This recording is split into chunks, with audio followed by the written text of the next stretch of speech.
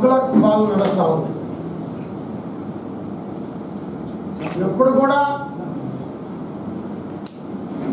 మన దేశంలో స్వాతంత్రం వచ్చిన తర్వాత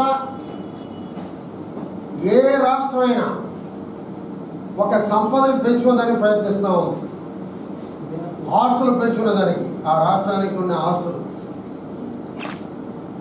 ఇప్పటిదాకా మనం చూసాం గతంలో ముఖ్యమంత్రిగా ఉన్నటువంటి ఉమ్మడి రాష్ట్రం రాజశేఖర రెడ్డి గారు. ఆయన ఇచ్చిన హామీలకి కొన్ని భూములు తెలంగాణలో అమ్మితే వచ్చిన వ్యతిరేకం చూసి ఆయన ఆగిపోయిన సంగతి అందరికీ తెలుసు. అయితే ఈనాడు లెక్కలేరని హామీలు ఇచ్చి ఒక వైఎస్ఆర్సీపీ కార్యకర్తలకి ఒక్కొక్కరికి పదివేలు జీతం ఇవ్వాలని నాలుగు లక్షల మందికి ఉద్యోగాలు ఇచ్చి వాళ్ళకి ఎలా జీతాలకి డబ్బులు ఇవ్వాలో అర్థం కాక అయోమయంలో పడిపోయిన జగన్మోహన్ రెడ్డి గారు. మేము ఉద్యోగాలు ఇవ్వద్దంటం లేదు. మేము ఉద్యోగాలకు వ్యతిరేకం కాదు.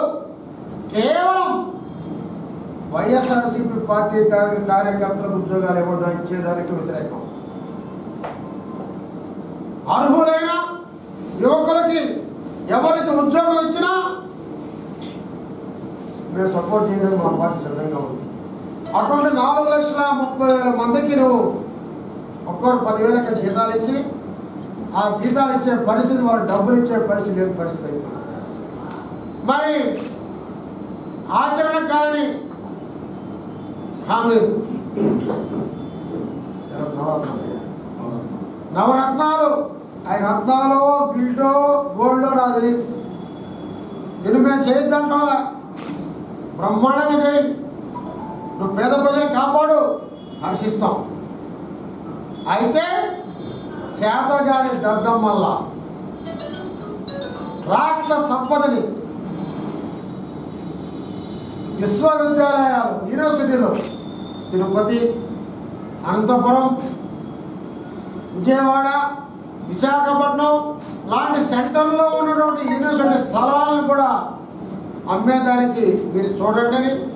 దానికి ఒక సంస్థ పెట్టి దానికి ఒక బిల్డప్ ఏపీ బిల్డప్ అని ఒక పేరు పెట్టి దానికి ప్రవీణ్ కుమార్ అనే ఐఏఎస్ ఆఫీసర్ అధికారిగా నియమించి ఎక్కడ ఖాళీ స్థలాలు ఉన్నాయో అన్నీ కూడా గుర్తించమని ఎవరు కోర్టుకి వెళ్ళకుండా ముందు జాగ్రత్తలు తీసుకోమని ఇది తుగ్లక్ పాలన తప్ప ఏంటి అని అడుగుతున్నా.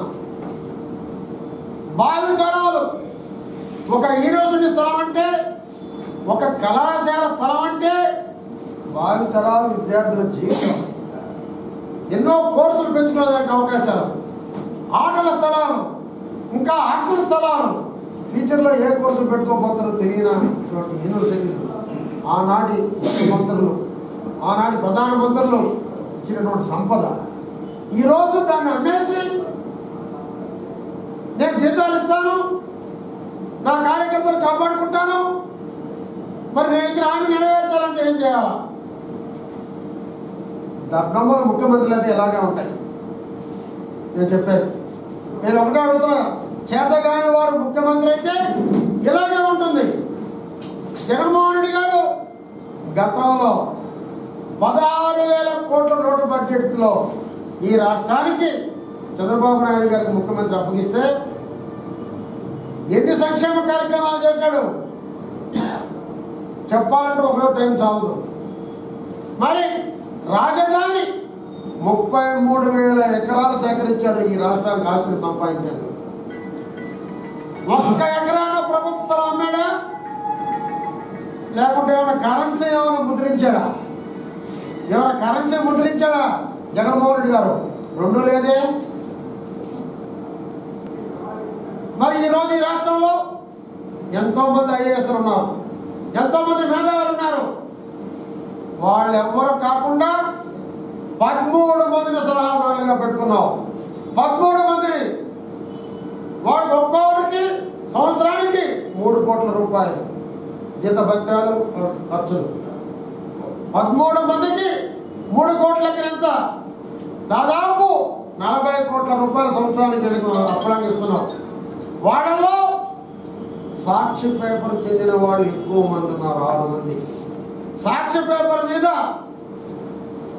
భారం తగ్గించేందుకు వాళ్ళందరూ కూడా సలహాదారుగా పెట్టుకొని ఎప్పుడు లేని విధంగా చరిత్రలో. మరి ఈరోజు ఆ పదమూడు మంది ఇచ్చే సలహాదారులు ఈయన జగన్మోహన్ రెడ్డి గారు స్థలాలు అమ్మమనేనా? ప్రత్యామ్నాయం లేదా ఈ రాష్ట్రానికి? ఆదాయ వనరులు పెంచుకోవాలని నీకు ఇక సూచించేవాళ్ళు లేరా? ఎన్నో ఆదాయ వనరులు ఉన్నాయి. కానీ అవన్నీ వదిలేశారు. ఎందుకో స్థలాల మీద స్థలాల మీద పడాలి. ఎందుకంటే మొన్నటి దాకా ఇసుక. అవకాశం ఉన్నా మూడు నెలలు పూర్తిగా వదిలేశారు. వాళ్ళ ఎమ్మెల్యేలు వాళ్ళ మంత్రులు పూర్తిగా బాగుపడాలని. ఇప్పుడు కఠినం చేస్తున్నాం అంటున్నాడు. రాష్ట్రంలో అనేక మంది చనిపోయిన తర్వాత బేల్దారి కూలీలు ఇబ్బందులు పోయిన తర్వాత ఈరోజు కఠినం చేస్తా అంటున్నాడు. ఈ ఆస్తులు కూడా దేనికి అమ్ముతున్నావు? నీ బిల్డర్లు నీ నాయకులు నీ మంత్రులు బాగుపరిచేదానికి. అంతేగాని ఆస్తులమ్మి జీతాలు ఇచ్చే దౌర్భాగ్య పరిస్థితి ఆంధ్ర రాష్ట్రం వచ్చిందా? ఆస్తులమ్మి సంక్షేమ కార్యక్రమాలు చేసే దుస్థితికి ఆంధ్ర రాష్ట్రం వచ్చిందా జగన్మోహన్ రెడ్డి గారు? ఇంత చేతగానే ముఖ్యమంత్రివా మీరు? ఇంత చేతగానే ముఖ్యమంత్రి మాకెందుకు అంటున్నారు ప్రజలు? ఈరోజు ఈరోజు ప్రజలు మేము ఓటేసిన దానికి మా చెంపలు మేము వేసుకుంటున్నాం మా చెంపలు కొట్టుకుంటున్నాం అనే పరిస్థితి తయారయ్యారు ఈరోజు మరి ఈ రాష్ట్రంలో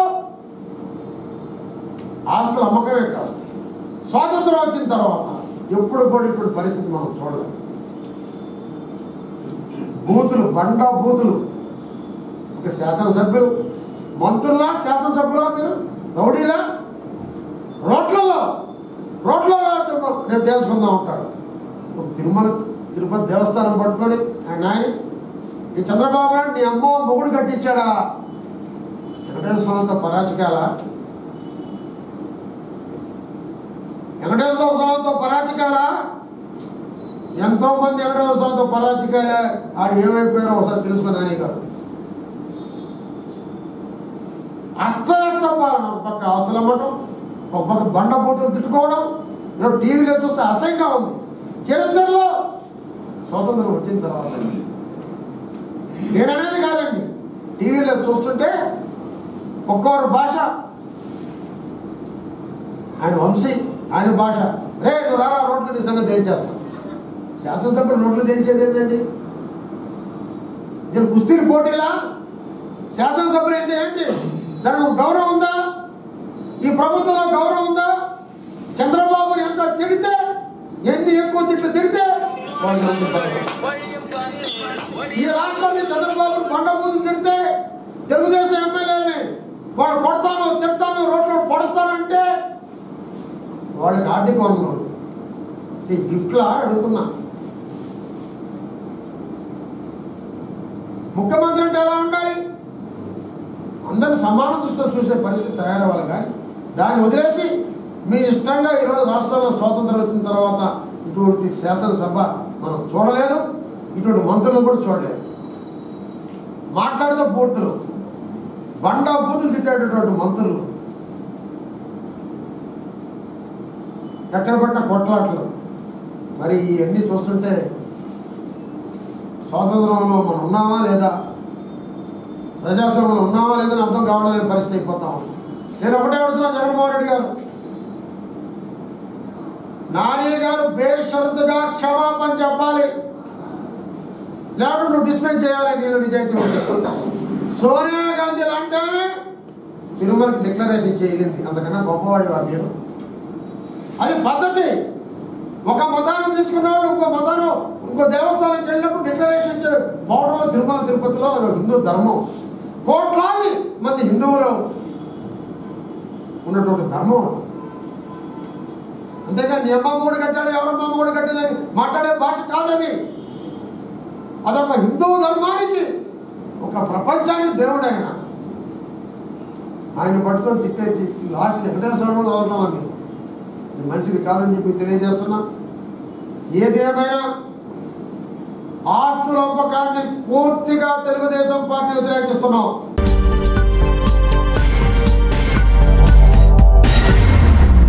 మరింత తాజా సమాచారం కోసం చూస్తూనే ఉండండి జేఎన్ఐ టుడే. సబ్స్క్రైబ్ చేయండి లైక్ చేయండి.